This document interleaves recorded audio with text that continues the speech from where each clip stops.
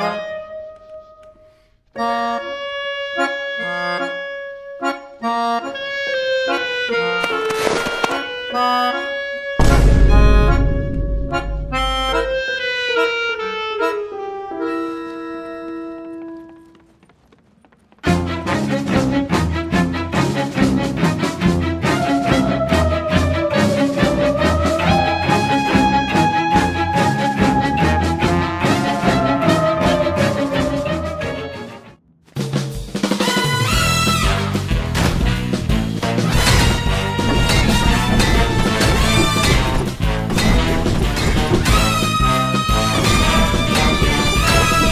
I don't know. It, it was some time before she got done. I don't want to do this.